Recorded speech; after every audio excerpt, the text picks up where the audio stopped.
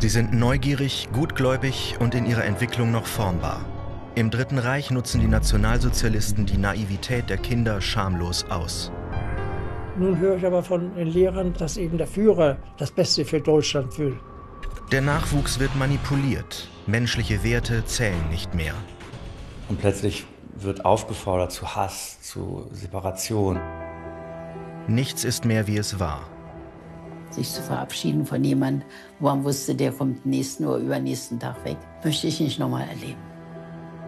Das Grauen ist unvorstellbar. Diese Erfahrungen, die die Kinder gemacht haben in diesen Lagern, sind nicht bewältigbar. Kinder inmitten von fallenden Bomben. Im Zweiten Weltkrieg wird der Albtraum zum Alltag. Es kracht und blitzt und alle Augenblick fielen Bomben. Die Erwachsenen hielten sich an uns fest und wir an den Erwachsenen, weil die Angst war natürlich riesengroß. Eine Kindheit im Chaos. Sie wissen nur, in diesem kleinen Segment müssen sie funktionieren. Und sie haben funktioniert wie die Uhrwerke. Benutzt für Hitlers wahnsinnige Pläne. Die Nazis schicken Halbwüchsige in den Krieg. Günther, da hinten ist einer, hol ihn mal weg. Was diese Kinder an der Front sehen, werden sie nie vergessen. Wo wir eigentlich mit einem gesunden Menschenverstand sagen, wie kann es sein? Das vermeintliche Heldentum weicht blutiger Realität. Ich hatte so eine lebende Todesangst, dass ich mir jetzt abdrückte. Das Erlebte verfolgt nicht nur die Soldaten, auch nach dem Krieg. Und dann gab es Prügel. Ne? Das war also ganz fürchterlich. Der Zusammenbruch wird zum Trauma. Viele Soldaten werden das Grauen nie mehr los. Was hast du mit dem Kind gemacht? Mein Gott, was ist bloß mit dir passiert da draußen? Für einen Menschen mit einer Traumafolgestörung ist das Trauma nie vorbei. Das verbrecherische NS-Regime hat sie ausgenutzt und verraten. Was bleibt, ist der Schmerz. Natürlich fällt es vielen unendlich schwer zu begreifen, dass das eine Illusion war, zu begreifen, dass sie belogen worden sind. Dieses ewige Kind, was da laut geschrien hat, das durfte nicht gehört werden. Da war kein Platz für. Für den grausamen Krieg der Großen opfern die Kleinsten das Wertvollste, das sie haben. Als ich dann meinen Widerwillen überwunden habe, die erste Leiche umgedreht, da kann man ja schon nicht mehr als Kindheit bezeichnen. Im Krieg war man kein Kind mehr.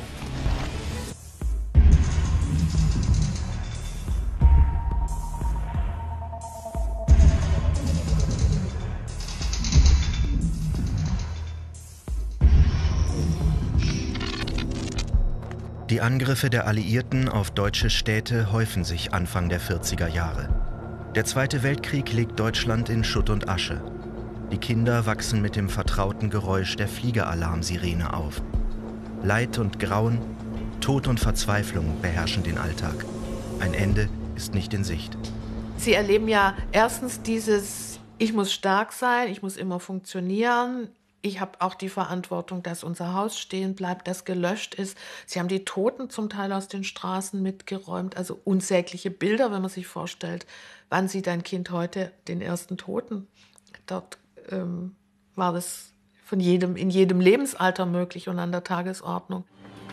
Um die Kinder vor diesem Anblick und dem dauerhaften Stress des Bombenkriegs zu beschützen, werden viele von ihnen aufs Land gebracht, wo es sicherer für sie ist.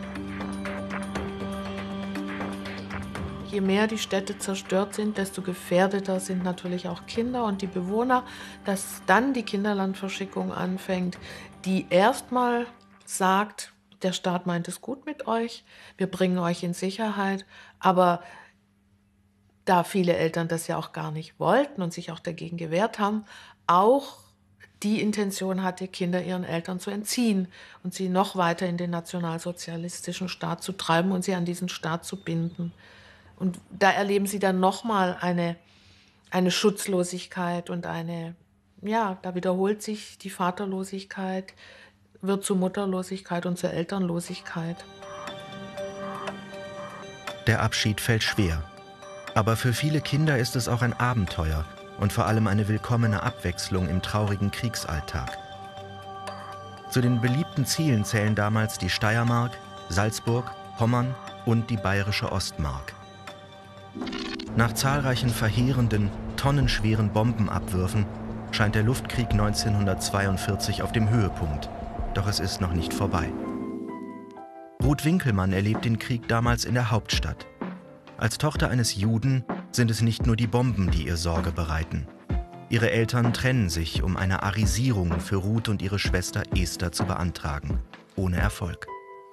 Vor dem Krieg trafen sie sich regelmäßig mit den Verwandten. Doch Zwangsarbeit, Bombenkrieg und Angst vor der Deportation haben alles verändert. Von dem Moment an, wo wir alleine gelebt haben, der Vati alleine gelebt haben, wir alleine gelebt haben, war wenig Zeit für die Familie. Wir trafen uns zwar mal, aber im Grunde genommen hatten wir wenig Zeit miteinander verbringen können. Denn ich musste ja auch arbeiten. Ich habe jetzt zwölf Stunden gearbeitet äh, von, von 42 an. Einmal eine Woche Nacht, zwölf Stunden durch und eine Woche am Tag, also in Wechselschicht. Wo bleibt da noch viel Zeit? Dann der Schock. Ruths Großeltern sollen abgeholt werden. Die Familie hat sich lange nicht gesehen. Man glaubte an bessere Zeiten, um alles nachzuholen. Eine Tante von mir, die hatte aber ganz starke Verbindung zu meinem Großvater, also die jüngste Schwester meiner Mutter. Und die ist jede Woche zu den Großeltern gegangen. Hat ihnen mal was hingebracht, wenn sie mir was hatte. Und die wusste auch, dass Großeltern abgeholt wurden. Und dann sind wir alle noch mal ganz schnell, haben wir uns noch mal Zeit genommen und dann alle noch mal ganz schnell hin. Es war ein Weinen. Es war ganz was Schlimmes. Sich zu verabschieden von jemandem, wo man wusste, der kommt nächsten oder übernächsten Tag weg. Möchte ich nicht nochmal erleben. Für die 14-jährige Ruth und ihre Familie ist nichts mehr so, wie es war. Die Nazis halten die Welt weiter in Atem und verschleppen Ruths Großeltern nach Theresienstadt. Und es wird bald noch schlimmer kommen. Im Februar 1943 geht Hermann Jax wie an jedem Morgen zur Arbeit. Er kommt nicht wieder nach Hause. Der jüngste Bruder meines Vaters, der kam zu uns und sagt, der Vati ist abgeholt worden. Eine Welt bricht da zusammen, der Vati auf einmal weg. Aber ich muss zur anderen Seite sagen, 43 haben wir alle mit uns so selbst so viel zu tun gehabt dass wir das als furchtbar empfanden. Aber 43, muss ich sagen, hat jeder erstmal auf sich selbst geguckt. Und dann kam der andere ran. Weil ja auch die Bomben, die uns ja auch das Leben genommen haben. Und ich habe natürlich nach meinem Vater geweint, klar. Aber was großartig Unternommen konnten wir ja nichts. Für Trauer ist im Bombenkrieg kein Platz. Die Kinder müssen mit anpacken. Sie müssen stark sein, ihre Angst herunterschlucken und den Kriegsalltag aushalten. Kinder wachsen in dieser Zeit über sich hinaus und übernehmen Aufgaben, die eigentlich nicht altersgemäß sind. Also es gehört dazu, immer zu funktionieren, um in diesem Krieg überleben zu können und um den Anweisungen der Erwachsenen Folge zu leisten. Es, ist, es sind dann irgendwie kleine Erwachsene, die, die über sich hinauswachsen und die, aber die, die oft die, die Dramatik der Situation gar nicht unbedingt umreißen. Sie wissen nur, in diesem kleinen Segment müssen sie funktionieren. Und sie haben funktioniert wie die Uhrwerke. Für die Kleinsten sind der Alarm, das Rennen und das Krachen der Bomben längst zur Gewohnheit geworden. Auch Monika Jetter kennt es damals nicht anders. Ich war immer ein sehr sanguinisches, fröhliches Kind im Grunde. Und manchmal habe ich auch gedacht, da unten ist was los. Ne? Da waren viele Leute und so. Und äh, ich glaube, dass ich die Bedrohung im Keller gar nicht so empfunden habe macht das Beste aus der Situation irgendwie. Man, was sollte man auch machen? Man musste ja da runter. Ne? Dann waren ja diese, diese Türen, diese Bomber, also diese Eisentüren mit dem Riegel, die dann zugemacht wurden. Und dahinter saß man dann und wartete, bis es wieder vorbei war. Ne? Dass die fallenden Bomben für die Kleinsten bereits Routine sind, bringt auch etwas Gutes mit sich. Grundsätzlich würde ich sagen, je kleiner ein Kind ist, bis, hin, bis runter ins Säuglingsalter, desto zerbrechlicher, verletzbarer ist es. Aber die äh, mangelnde intellektuelle Entwicklung, Sprachentwicklung kann manchmal auch ein Schutz sein. Wenn ich mh, hm, elf Monate alt bin und ich verstehe noch kein Wort, ich kriege mal gerade so mit Hängen und Würgen Mama raus, dann verstehe ich nicht, was Mama und, und Opa und wer alles erzählt über den Krieg und wie gefährlich das ist und wie schützen wir uns. Ich erlebe die Bedrohungslage irgendwie, es vermittelt sich. Aber es sind ja alle da. Alle, die mich beschützen, die mich immer beschützt haben, sind da. Supi. Und die rennen dann da durch die Gegend und komisches Geheule und so. Ich bin ja bei Mama auf dem Arm. Kinder- und Jugendtherapeut Dr. Andreas Krüger weiß jedoch, dass es in manchem Fall nur einer Sekunde bedurfte und plötzlich war alles für immer anders. Der Säugling beispielsweise ähm, erlebt, wie er im Bunker sitzt mit Mama und wird gerade gestillt und es rauscht eine Bombe runter an den Bunker. Ja, und alle schreien, ja, Mama versiegt von diesem Moment an die Milch, ja, dann werde ich zum Schreikind. Plötzlich bin ich auch noch anstrengend in diesem Wahnsinnskrieg und äh, entwickle als Säugling eine posttraumatische Belastungsstörung. Dieser Lärm, die Erschütterung, die Unfähigkeit der Mutter beruhigend einzuwirken, weil sie selbst Angst um das Leben ihres Kindes hat und ihrer, ihrer Leute und ihres eigenes, eigenen. Ähm, und dann wird der Säugling eine posttraumatische Belastungsstörung entwickeln. Die Erfahrungen, die die Kinder im Krieg machen, sind unterschiedlich. Was alle gemeinsam haben, sind der dauerhafte Stress und die ständige Angst. Ich weiß nur, dass es natürlich dann darum ging, wie überleben wir. Ne? Und äh, wo kriegt man was zu essen her? Und äh, ist man noch sicher in seiner Wohnung? Es wurde sehr viel eingebrochen, auch in den Kellern überall, die da waren. Viele haben natürlich gesagt, mein Vater ist schon zurückgekommen.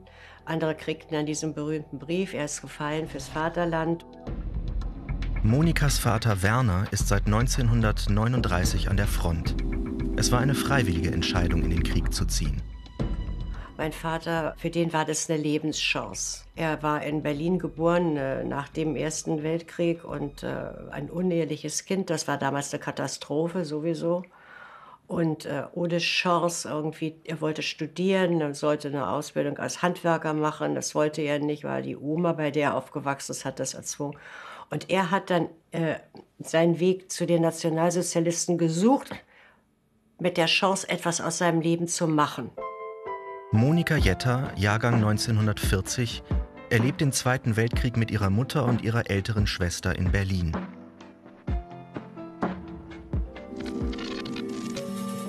Sie lernt ihren Vater erst nach dem Krieg kennen. Wie er vorher war, erfährt sie aus Erzählungen ihrer Mutter als er dann meine Mutter kennengelernt hat, muss er wohl ein sehr flotter junger Mann gewesen sein, in den sie sich auch verliebt hat. Und äh, als er dann gesagt hat, wir wollen heiraten, hat sie das, glaube ich, auch aus vollem Herzen gemacht. Also sie war, glaube ich, sehr verliebt in meinen Vater. Das hat sie schon erzählt. Er wollte es zu etwas Großem bringen. Die Nazis boten Monikas Vater diese Chance auf der Ordensburg. Als Anwärter der NSDAP-Führungsriege sollte er hier jedoch der Religion den Rücken kehren. Und das galt auch für seine Frau. Und dann hat sie damals gesagt, du musst dich jetzt entscheiden. Entweder der Führer oder ich. Und da hat mein Vater die Ordensburg verlassen und hat sich dann freiwillig gemeldet zu den Fallschirmjägern. So wurde er Fallschirmjäger. Er hatte sich natürlich nicht von dem Führer losgesagt, aber er hatte sich von dieser Ausbildung auf den Ordensbogen losgesagt, weil sie das nicht mit ihm tragen wollte. 1943 gehört der Krieg in der Hauptstadt endgültig zum Leben. Für Ellie Jax wird der Alltag zur Herausforderung. Ihr jüdischer Mann ist deportiert worden. Ihre Töchter Ruth und Esther leben in ständiger Angst.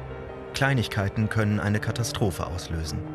Die Lebensmittelkarten musste Mutti von der Kartenstelle abholen. Und da diese Situation schon mit meinem Vater war, als er sie abgeholt wurde, hatte Mutti besondere Angst um uns beide gehabt. Und sagte, solange wie ich die Karten, äh, die Lebensmittelkarten von der Kartenstelle abhole, geht mal bitte zur, zu ihrer ältesten Schwester, der Tante Grete. Und die war Beamtin. Und die durfte als deutsche Beamten keine Juden als Gäste haben. Also musste ich meinen Stern abmachen. Mutti ging zur Kartenstelle und an der Kartenstelle kamen SS-Leute und sagten, ja, äh, sie müssten die Kinder sehen. Vorher kriegen sie die Karten nicht. Na, und da ist Mutti natürlich zu uns gekommen mit den beiden Beamten und dem Auto. Und ja, aber wir bekamen keine Karten, sondern wir wurden verhaftet. Die Familie wird zur Sammelstelle in die große Hamburger Straße gebracht. Gemeinsam mit vielen anderen verängstigten Menschen warten Ellie, Ruth und die kleine Eddie auf weitere Anweisungen. Und dann da ging ein junger Uniformierter, SS wahrscheinlich oder sowas, kam die Treppen runter und hat mit dem Gewehrkolben meiner Schwester eins über den Kopf gehauen. Man muss sich vorstellen, ein sechsjähriges Kind. Die hat nichts weiter gemacht, die stand nur da. Der haut ihr mit dem Gewehrkolben auf den Kopf. Meine Schwester die Zähne zusammengebissen und den von oben bis unten angeguckt. Das war ein furchtbares Erlebnis. Man konnte nichts machen. Naja, und dann kam der, der Beamte und fragte Mutti denn, warum sie denn hier ist. Da sagt Mutti, naja, sie ist die Mutter von den beiden Kindern. Und da sagt er, na und was sind sie blutsmäßig? Da sagt Mutti, na, sie ist arisch. Ist ja. Und ihre Kinder sind blutsmäßig Mischlinge ersten Grades. Eine Lüge. Die Kinder sind nach den Rassegesetzen der Nazis sogenannte Geltungsjuden. Das Tragen des Davidsterns ist Pflicht und bei einer Deportation würden sie nicht verschont. Mischlinge ersten Grades hingegen müssen keinen Stern tragen und stehen weiter hinten auf den Listen der Mörder. Ellie Jax riskiert alles und rettet ihre Kinder. Und dadurch, dass ich keinen Stern am Mantel dran hatte, war das für mich eine Rettung gewesen. Und da habe ich mit der Angst zu tun gekriegt. Diese Angst, die Angst um das eigene Leben und um das geliebter Menschen, sitzt tief. Die Überlebenden werden das Gefühl oft nicht los. Es verändert die Kinder, manche von ihnen für immer. Die Situation, wo jemand lebensbedroht ist, wo er keinen Ausweg hat, wo er nichts machen kann, wo eine Ohnmachtserfahrung entsteht, die über alles hinausgeht, was er bisher erfahren hat. Ähm, man nennt es in der Fachwelt auch traumatische Ohnmacht. Wenn, wenn diese Konstellation sich ergibt, in den Erfahrungen, die ein Junge auch ein, oder auch ein alter Mensch macht, ob Säugling oder Großmutter, völlig egal. Diese Erfahrung taugt dazu, im Gehirn etwas auszulösen, was man posttraumatische Belastungsstörung nennt. Und das ist sozusagen die Ursuppe, die symptomatische Ursuppe, aus der heraus sehr komplexe äh, Beeinträchtigungen resultieren. Günter Lux wächst in Hamburg in einem kommunistischen Elternhaus auf. Er will dennoch Mitglied im nationalsozialistischen Jungvolk werden. Und zu Kriegsbeginn kann sein Vater sich nicht länger dagegen wehren. Die Anmeldung ist Pflicht. Auch in Hamburg ist der Terror der Nazis spürbar. Dass an der Front täglich unzählige Soldaten sterben, verschweigen sie. Nach wie vor wird der Krieg verherrlicht. Weitere Rekruten werden ausgebildet. Im September 1942 kann sich auch Hermann Lux nicht gegen einen Einsatz wehren. Günthers Vater wird eingezogen und muss an die Front. Die Söhne Günther und Hermann, 14 und 15 Jahre alt, ziehen zu ihrer Mutter, Stiefvater Helmut und zwei Halbgeschwistern. Es ist die Rückkehr in einen nach wie vor überzeugten kommunistischen Haushalt. Doch der Kriegsalltag steht im Vordergrund. Diese politischen Ansichten sind in den Hintergrund getreten, weil die Bombenangriffe so stark waren und das, der Kampf ums Überleben überhand nahm. Ähm, äh, politische Aktionen gab es so gut wie gar nicht mehr. In der kleinen Wohnung ist es eng für die sechs. Mit jedem Bombeneinschlag in Hamburg wächst die Angst, und die Gefahr, nach der Entwarnung im Luftschutzkeller ebenso wie viele andere obdachlos zu sein. Doch die Familie hat Glück. Und dennoch wird sich für die Brüder Lux im Sommer 1943 alles ändern. Ihr Stiefvater Helmut Kruschak wird ins Protektorat nach Tschechien zum Flugzeugbau versetzt. Elisabeth und die kleinen Kinder kommen mit. Günther und Hermann bleiben allein in der Wohnung in Hammerbrook zurück. Die Tante Olga, die ein Gemüsegeschäft in derselben Straße hatte, musste dann unsere Vorbotschaft übernehmen, auch dafür sorgen, dass wir zu essen bekamen und so. Ne? Und deswegen haben wir da oben in der Wohnung alleine äh, gelebt.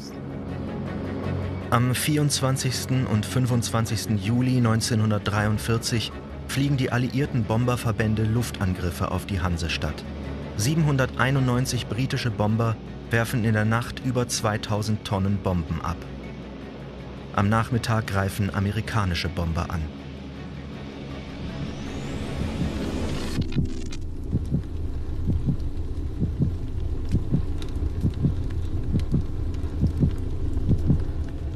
Die ersten zwei Angriffe waren verheerend, aber das hat sich so mehr im Hafen abgespielt, auch im Altona-Gebiet. Wir waren natürlich im Keller, denn der nächste Bunker, der war in der Süderstraße, war viel zu weit dahin zu laufen, hatten wir auch gar keine Lust dazu.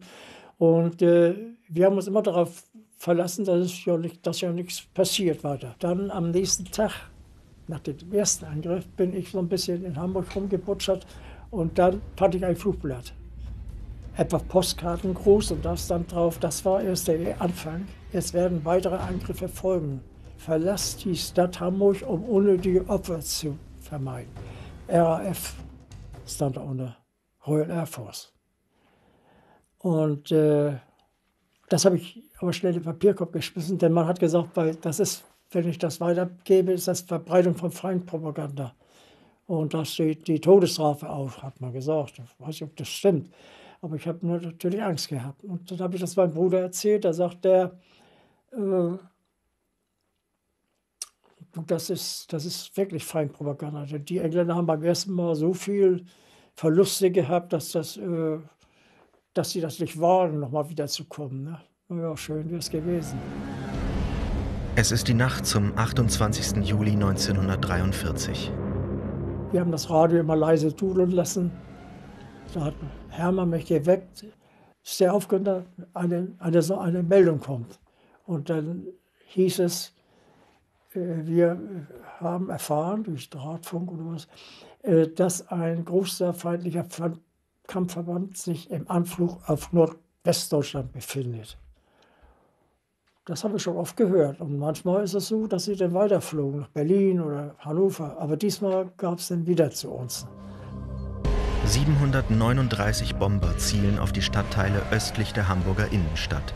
Rotenburgs Ort, Borgfelde, Hammerbrook. Hier leben auch Günther und Hermann Lux. Die Voralarmsirene ertönte und äh, kurz darauf äh, ging schon das Flakschießen los. Und dann äh, fielen am Schluss Bomben. Die äh, waren dann schon da und wir sind schnell runtergelaufen in, in, in den Keller, Luftschutzkeller bei uns.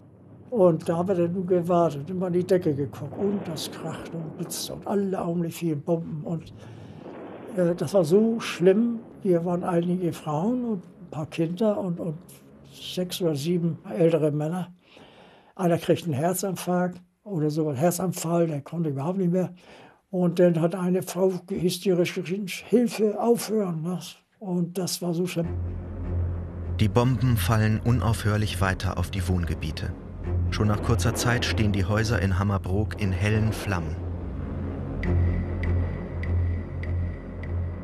Im Hinterhof unseres Hauses war ein anderes Haus, das brach plötzlich zusammen. Da ist wohl eine größere Bombe aufgefallen. Und dann knallte es oben bei uns. Und da hat einer von uns gesagt, das, ist, das hat eingeschlagen bei uns. Rauf sind wir die, die vier oder fünf Etagen hoch bis zum Dachboden. Das brannte an allen Ecken und Enden, die ganzen morschen Zwischenwände waren in hellen Flammen. Und die Dachluke habe ich aufgemacht, da lag eine Brandbombe drin. Wir sind dann runtergelaufen, weil wir nichts helfen, nichts löschen konnten. Ich habe mir die Gasmaske vom Gesicht gerissen. Wir hatten Volksgasmasken vorher bekommen, äh, weil, weil mir was am Hals gebrannt hat. Und dann bin ich ohnmächtig geworden durch diese toxischen Gase. Und mein Bruder hat mich da unten getragen. Und da haben wir dann gelegen und gewartet in diesem Zwischen. Raum. Und da habe ich dann die Tür aufgemacht und, und habe gesehen, wie äh, Leute vorbeiliefen. Mit einmal krümmten sie sich. Einer krümmte sich und verbrannte sofort. Und dann bin ich rausgegangen, bin wieder zurückgeprallt, weil dieser heiße Flammensturm durch die Straßen fegte. Und Brandbomben lagen da auch auf der Straße. Und Hermann kam auf diese verrückte Idee und sagt, du, ich muss jetzt mal rausgehen und gucken, was mit Tante Olga ist, denn die äh, wohnt einige Häuser weiter. Vielleicht braucht sie Hilfe. Ich habe gesagt, Mensch, lass uns zusammengehen oder bleib hier. Und die muss sich dann selbst retten. Aber äh, er ist rausgegangen und kam nicht wieder.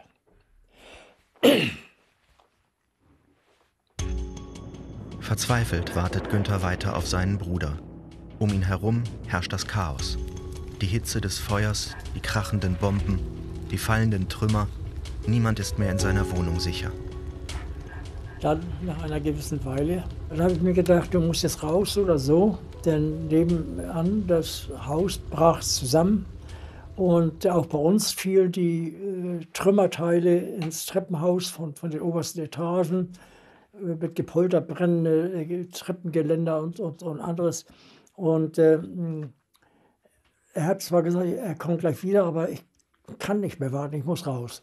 Und da bin ich rausgelaufen und unten, äh, als der Feuersturm so ein bisschen nachließ, torkelte eine ältere Dame orientierungslos hin und her und die äh, habe ich mit runtergerissen auf die, auf, auf die Straße. Wir haben uns dann hingelegt und zwischen den Kopfsteinen, Ritzen, Kopfsteinen, Pflasterritzen haben wir Luft geholt.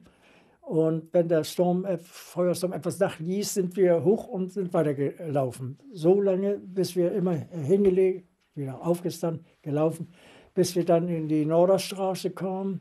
Die Norderstraße, da gibt es heute noch eine alte Schule und äh, da waren hunderte von Leuten, die sich haben retten können, halb bekleidet und mit blutenden Wunden und zerrissener Kleidung, wie gesagt.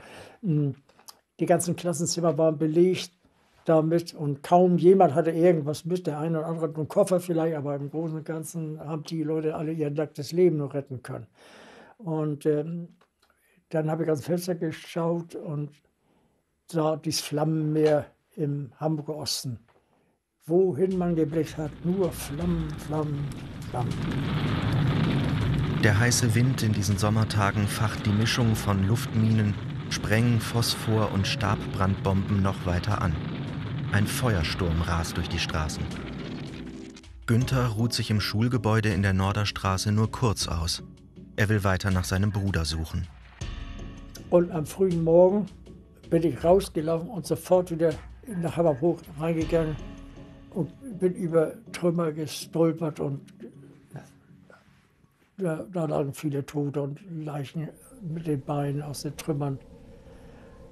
Und ich habe äh, männlich aussehende Leichen mit meinen Händen umgedreht, um zu sehen, ob das Hermann vielleicht ist. Ein paar Mal habe ich das gemacht. Und dann hat mich ein Offizier von der Wehrmacht an die Schulter gefasst und hat gesagt, du mein Junge, ich müsste dich jetzt erschießen. Das, was du hier machst, ist Leichenflatterei. Und ich habe dann geweint und habe gesagt, dann mach das doch. Ich habe jetzt keine Lust mehr, ich suche meinen Bruder.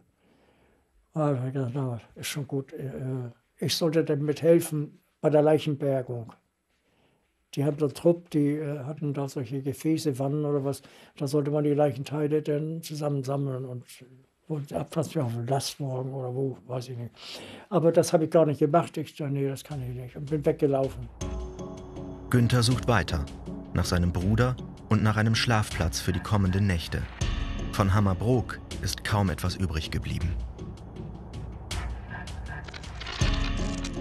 Ruth Jax ist der drohenden Deportation entgangen die Angst nach dem traumatischen Erlebnis in der Sammelstelle ist riesengroß.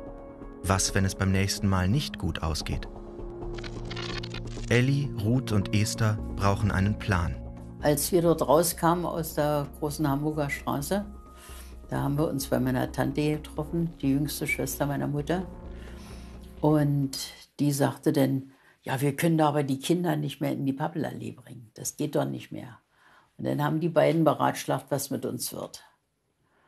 Und bis da meine Tante auf einmal auf die Idee kommt, na, du hast ja den Herrn Lindenberg, der hat doch mal zu dir gesagt, wenn du in Schwierigkeiten bist, wende dich an ihn.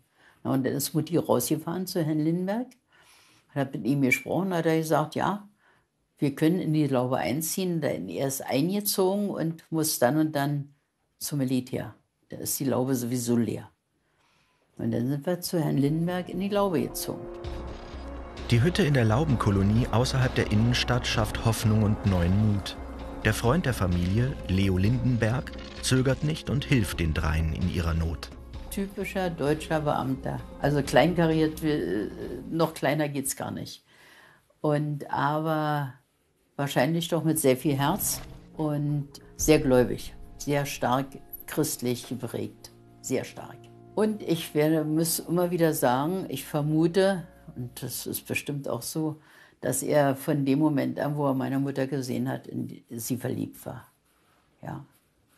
Und sonst kann ich mir nicht vorstellen, dass ein Mann zwei jüdische Kinder aufnimmt. Und von dem Moment an, wo die Eltern getrennt waren, hat er ja auch das gerochen wahrscheinlich, dass da die Möglichkeit besteht. Der Umzug in die Laube ist unbedingt nötig. Dennoch fällt es der 14-jährigen Ruth schwer, ihr Zuhause aufzugeben. Ich war immer gewohnt, in großen und hellen Räumen zu leben. Und diese Laube war, der größte Raum war zwei Meter mal zwei, zwei mal zwei Meter.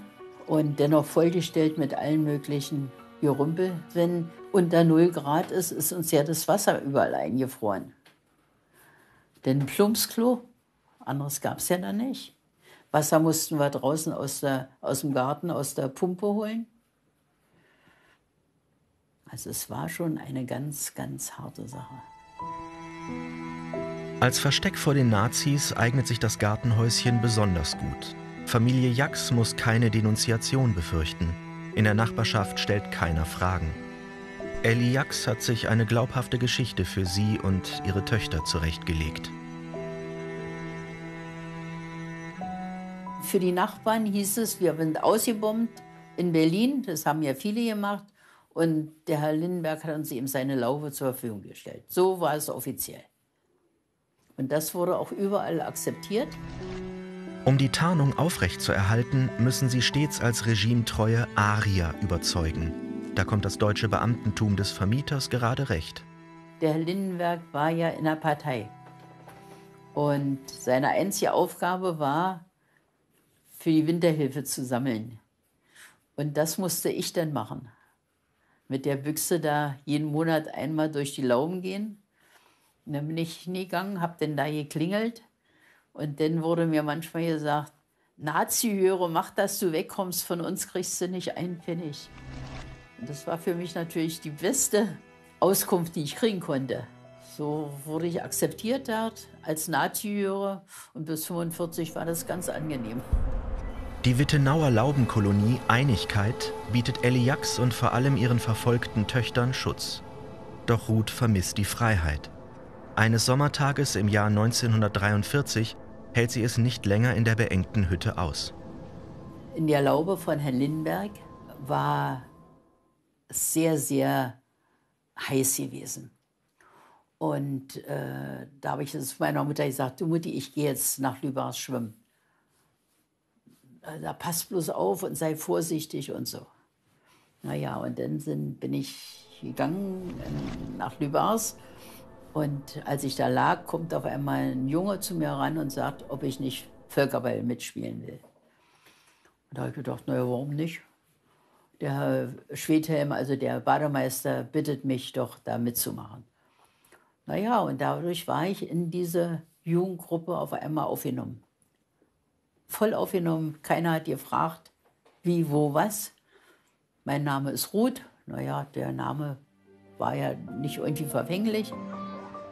Endlich wieder draußen, wieder mit Freunden gemeinsam das Leben genießen.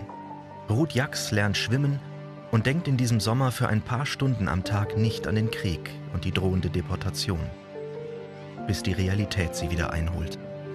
Und jetzt hieß es, äh, ja, die Zeugnisse, sollst du man ja kriegen. Und da muss man aber vom BDM oder vom Jungvolk die Stempelkarte vorzeigen. Und die hatte ich natürlich nicht. Da habe ich natürlich tausend Ausreden gehabt jedes Mal, wenn ich kam. Bis dann äh, die Frau Schwedhelm eines Tages mich dann an die Hand genommen hat und gesagt, du, ich muss mit dem Hund mal rauslaufen, äh, komm mal mit, ich habe mit dir was zu besprechen. Ich habe schon geahnt, was da auf mich drauf zukommt. Na, nach vielen Drucksen und Erzählen habe ich dann die Hosen runtergelassen sozusagen und habe gesagt, so und so ist es. Ich bin Halbjüdin, müsste eigentlich einen Stern tragen, aber ich lebe im Halbuntergrund und habe keinen Ausweis. Da hat sie zu mir gesagt, du kriegst deine Zeugnisse auch ohne Stempel. Und wir machen das so, als wenn diese Unterredung nie stattgefunden hat. Und das war auch so. Und ich muss sagen, dem Ehepaar Schwede meinen Dank noch nachträglich. Ich habe dadurch ein paar unbeschwerte Stunden erleben dürfen.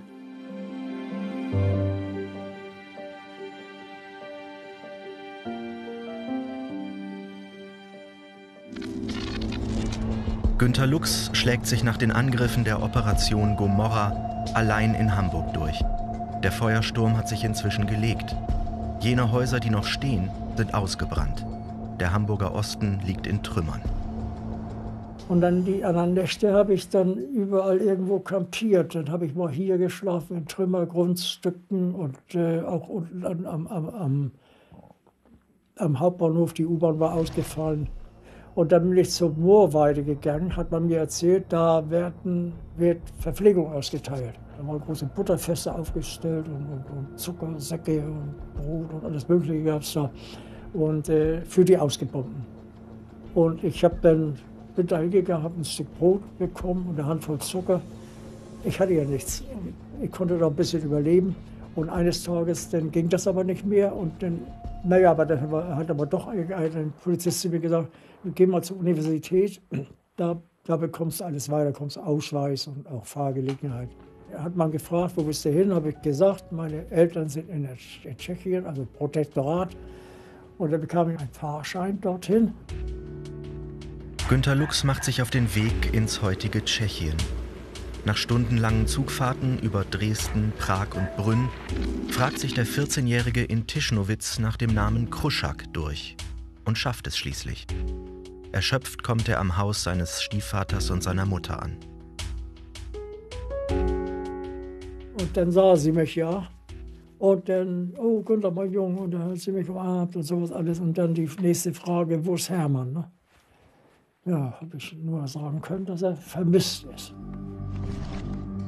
Elisabeth Kruschak ist außer sich. Sie macht sich auf den Weg nach Hamburg, um ihren ältesten Sohn zu suchen.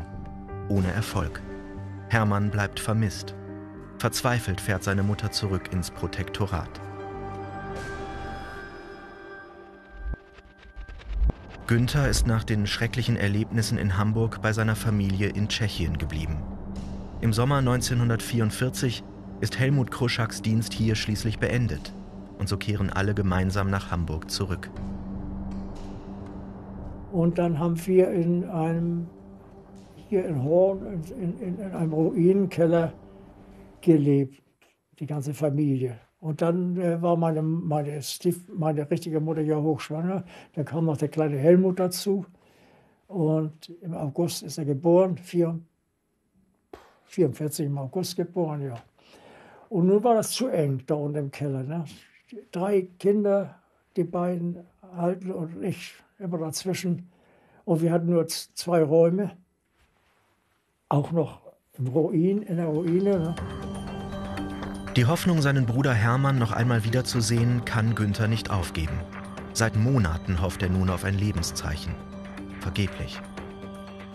Mein Vater hat gesagt, das hat keinen Zweck, den zu suchen. Das, der, ist, äh, der ist weg, der ist tot, also äh, lass, hör auf zu suchen. Und meine Mutter hat dann auch resigniert. Und machen konnte man sowieso nichts. Und man darf, auch nicht, darf ja auch nicht vergessen, es war um Hammerbrook und Rodenbuschort herum eine Sperrmauer gezogen. Man durfte das nicht mehr betreten wegen Seuchengefahr. Äh, nicht richtig zugemauert, sondern das war aus Trümmersteinen, etwa ein Meter hoch, wurde eine Mauer gezogen und äh, wurde auch bewacht. Also selbst auf eigene Faust aufzusuchen, das ging auch nicht. Und bei den Behörden wurde man abge abgewiesen. Also und dann äh, resigniert man auch mit der, mit der, mit der Zeit. Ne? Nur ich kam mir in der Familie vor wie so ein kleiner Fremdkörper. Und Platz hatten wir ja auch kaum. Ich hatte so eine kleine Ecke da, wo ich da, da in der Trümmerecke, da hatte ich, ich so ein paar kleine Spielsachen hingestellt und, und, und, Bücher, was ich so hatte und Hefte, von der Post. Ne? So wie sich in der Kampfzeit die Hitlerjugend aus freiem Entschluss zu Führer und Reich bekannte, ist sie heute zur Bewegung der Kriegsfreiwilligen geworden. An historischer Stätte wurde in einer Kundgebung dem Führer die Meldung der Kriegsfreiwilligen des Jahrganges 1928 erstattet. Das Gebiet Ostpreußen hier meldet 9482 Kriegsfreiwillige der Hitlerjugend. Und dann kam dieser Volkssturmbefehl, der ist rausgekommen im September, glaube ich schon, dass alle Männer von 16 bis 60 zum Volkssturm äh, eingezogen werden, sich dort melden müssen. Ne? Und da habe ich, hab ich mir gedacht, das ist eine Gelegenheit, hier aus diesem Keller rauszukommen. Äh, denn wenn man die Wochenschau gesehen hat, da hat man ja immer, hat man dann äh, gesagt, dass die Bolschewisten da in Ostpreußen Grausamkeiten vorbringen und die Leute und Kinder morden und so. Und äh, da habe ich, hab ich mir gesagt, da war ich, schon, war ich schon so beeinflusst, dass ich mir gesagt habe, ja, das, das, das, wenn ich kann, helfe ich, das zu verhindern. Und meine Mutter hat zwar gesagt, das, das hat doch keinen Sinn, lass das nach und, und bleib lieber hier und so. Aber mein Stiefvater, der hatte, der hat gesagt, ach, lass ihn doch ziehen. Nach, äh, der Krieg ist sowieso zu Ende, der kommt gar nicht an die Front. Der wird da ausgebildet und dann ist der Krieg zu Ende und dann kommt er wieder. Dann hat er so gesagt. Ne? Und äh, ich hatte auch das Gefühl, dass, dass er, wie gesagt, äh, äh einen Esser weniger hatte. Ne? Kann man ja auch irgendwo verstehen. In Berlin versuchen die Menschen im Winter 1944, ihr letztes Hab und Gut in Sicherheit zu bringen. Mittlerweile hat der Krieg fast alles zerstört. Ruth Jax hat seit knapp zwei Jahren nichts mehr von ihrem Vater Hermann gehört. Sie weiß nur, dass er im Februar 1943 nach Monowitz verschleppt wurde. Es ist kurz vor Weihnachten und Ruth muss wieder einmal um ihr Leben fürchten. Da waren Aktionen, Fabrikaktionen, wo Menschen eben verhaftet wurden, die noch da waren. Also die letzten sozusagen. Und ähm, das hatte ich gehört und da sagte mir dann ein, ein Kollege, äh, ich sollte mich mal bei meinem Arzt melden und der wüsste vielleicht eine Möglichkeit, ob ich denn noch einen Blinddarm hätte. Ja, einen Blinddarm habe ich noch. Naja, dann könnte das vielleicht Möglichkeit sein. Und dann kam ich zu dem Arzt und hat er gesagt, ja, dann musst du so halbgare Kartoffeln essen. Sag ich, wo soll ich denn die herkriegen? Hier hast du ein paar. Hat der mir noch ein paar Kartoffeln gegeben, sagt er, die schneidest du nur einmal durch wenn die halbgar ist, ist, ist sie die unter. Die musste ganz runterschlucken und äh, ein paar Stunden warten, dann entzündet sich der Blinddarm ganz automatisch. Sei nicht so sehr sorgfältig beim Waschen, sagte er noch. Naja, also jedenfalls, ich habe das gemacht, habe mich dann bei ihm gemeldet und da hat er mich eingewiesen ins Krankenhaus. Mein Arzt ist jeden zweiten Tag gekommen, hat meine Wunde wieder aufgerissen damit ich noch ein paar Tage länger drin bleibe, weil die Aktion noch nicht zu Ende war. Und da bin ich dadurch dieser Aktion entkommen. Die Gefahr ist noch nicht gebannt. In Deutschland regieren weiter Angst und Terror. Hitlers Opfer warten sehnsüchtig auf die